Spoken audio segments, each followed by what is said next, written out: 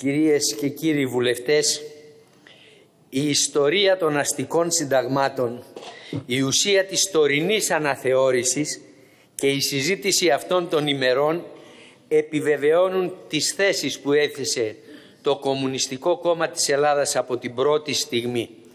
Τις θέσεις που ανέπτυξαν οι εισηγητές του κόμματός μας και οι άλλοι ομιλητές.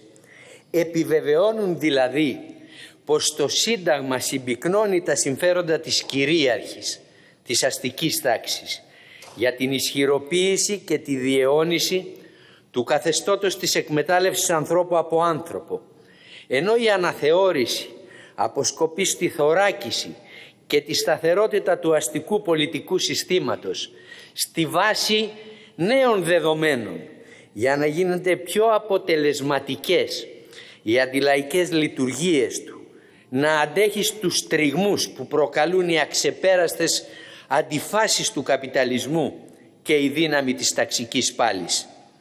Οι αστικές κυβερνήσεις και τα αστικά κόμματα διαφυλάσσουν τι; Διαφυλάσσουν ως κόρη οφθαλμού τις βάσεις που αφορούν την καπιταλιστική ιδιοκτησία στα μέσα παραγωγής, τα προνόμια στο μεγάλο κεφάλαιο και τις σχέσεις με τις διεθνείς υπεριαλιστικές ενώσεις, μέσα στις οποίες η αστική τάξη επιδιώκει να προωθήσει τα δικά της συμφέροντα και δεν διστάζει να εμπλέκει τη χώρα σε πολέμους και επεμβάσεις και το λαό μας σε μεγάλους κινδύνους.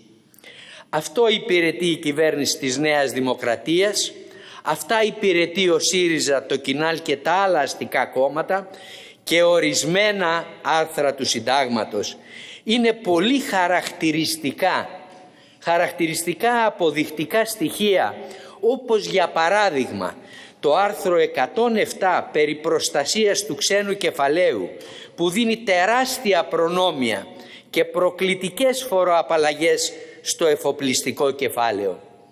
Το ίδιο ισχύει παραδείγματος χάρη για το άρθρο 28 το οποίο εξετάζουμε σήμερα.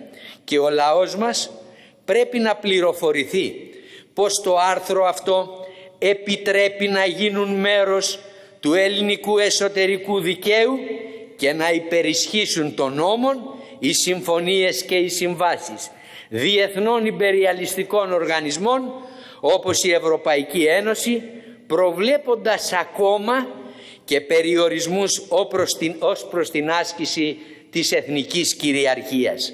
Δηλαδή, εκχώρηση κυριαρχικών δικαιωμάτων σε ξένα κέντρα στο όνομα του εθνικού συμφέροντος, όπως αναγράφεται στο σχετικό άρθρο.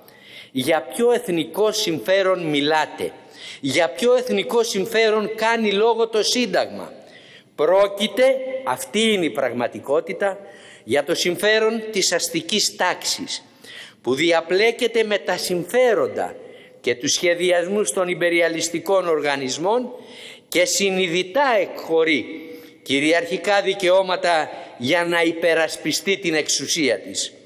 Το εθνικό συμφέρον που τίθεται ως προπέτασμα καπνού είναι το συμφέρον των εκμεταλλευτών του λαού μας που στο όνομά του καταργούνται, καταστρατηγούνται εργασιακά, μισθολογικά, κοινωνικά ασφαλιστικά δικαιώματα, επιβάλλονται τρομονόμοι και κάθε είδους κατασταλτικά μέτρα.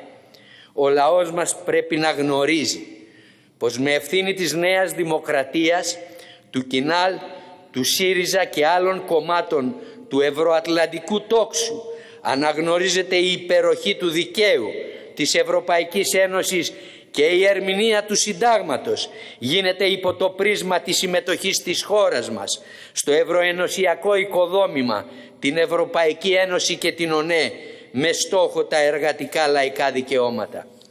Το Κομμουνιστικό Κόμμα της Ελλάδας ζήτησε την κατάργηση αυτού του άρθρου και σύσσωμα τα αστικά κόμματα το διατηρούν.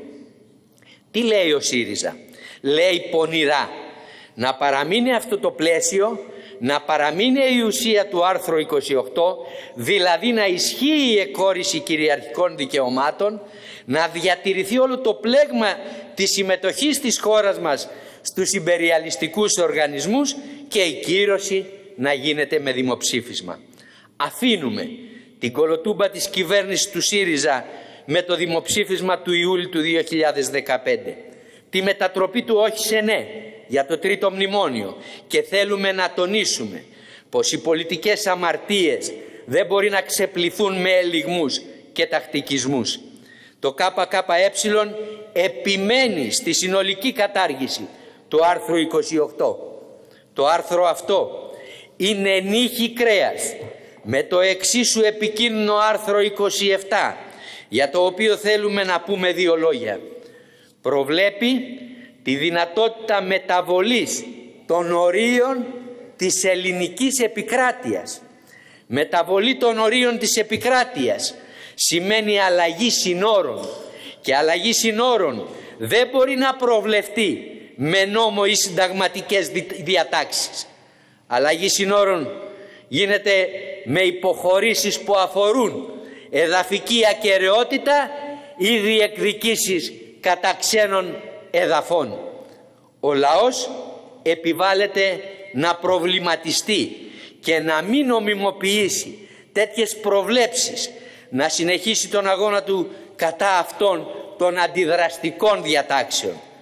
Στο ίδιο άρθρο αναφέρεται η δυνατότητα να γίνεται δεχτής στην ελληνική επικράτεια ξένη στρατιωτική δύναμη η οποία μπορεί να, να διαμένει ή να περάσει μέσα από την Ελλάδα στη βάση της σχετικής νομοθεσίας. Η σκοπιμότητα της παραμονής και διέλευσης ξένων στρατευμάτων από τη χώρα μας είναι εμφανής και την έχουμε ζήσει με την ισχυρή αμερικανονατοϊκή παρουσία στην Ελλάδα και την εμπλοκή στους υπεριαλιστικούς πολέμους και επεμβάσεις. Με χαρακτηριστικό παράδειγμα τη διέλευση νατοικών δυνάμεων από τη Θεσσαλονίκη στον πόλεμο κατά της Ιουγκοσλαβίας που εξόργησε και κινητοποίησε το λαό μας. Η κατάσταση σήμερα είναι χειρότερη. Η μετατροπή της Ελλάδας σε ορμητήριο του υπεριαλισμού, οι αμερικάνικες βάσεις στη Σούδα και σε άλλα μέρη της χώρας, οι βάσεις που δημιούργησε ο ΣΥΡΙΖΑ στο Μαράθι, στην Αλεξανδρούπολη, το Στεφανοβίκαιο, τη Λάρισα, οι οποίες, τις οποίες επικύρωσε η κυβέρνηση της Νέας Δημοκρατίας. Με την Ελληνοαμερικάνικη Συμφωνία για τις Βάσεις έχει χτυπήσει συναγερμό. Και αυτό αφορά και ζητήματα κυριαρχίας. Είναι τόπο συνάντησης των άρθρων 28 και 27 του συντάγματος. Τελειώνω κύριε Πρόεδρε. Καταλαβαίνετε κι εσείς πως ό,τι και να κάνετε, ό,τι να κάνουν οι αστικές κυβερνήσεις και ανεξάρτητα από προβλέψεις νόμων και τη συνταγματική κατοχήρωση της εγκατάστασης ή διέλευσης ξένων στρατιωτικών δυνάμεων ανεξάρτητα από τις συμφωνίες που υπογράφουν οι αστικές κυβερνήσεις ο λαός μας θα αντιδρά, θα παλεύει και θα διεκδικεί το δίκαιο του. Σας ευχαριστώ.